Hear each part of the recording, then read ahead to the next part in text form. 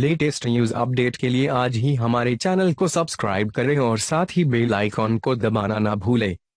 आज तक आपने सिर्फ़ A B A B O blood group के बारे में ही सुना होगा। लेकिन आपको बता दें, इनके अलावा एक और ब्लड ग्रुप है जो दुनिया में सिर्फ़ 40 लोगों के पास है। इसका नाम रिसस नेगेटिव है। इसे गोल्डन ब्लड के नाम से भी जाना जाता है।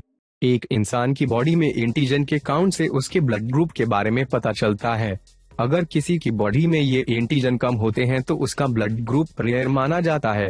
एंटीजन बॉडी में एंटीबॉडी बनाते हैं जो शरीर को वायरस और बैक्टीरिया से बचाते हैं। जिन लोगों के पास रिसस नेगेटिव ब्लड ग्रुप होता है, वे लोगों को अपना ब्लड देकर उनकी बचा सकते हैं। रिसस नेगेटिव ब्लड ग्रुप वाले दुनिया में किसी भी ब्लड ग्रुप वाले को अपना ब्लड दे सकते हैं। रिसस नेगेटिव ब्लड ग्रुप वाले लोगों की लाइफ नॉर्मल लोगों जैसी ही होती है। लेकिन उन्हें अपना ज़्यादा ध्यान रखना पड़ता है क्योंकि इस ब्लड ग्रुप के डोनर मिलने में बहुत परेशानी आती है।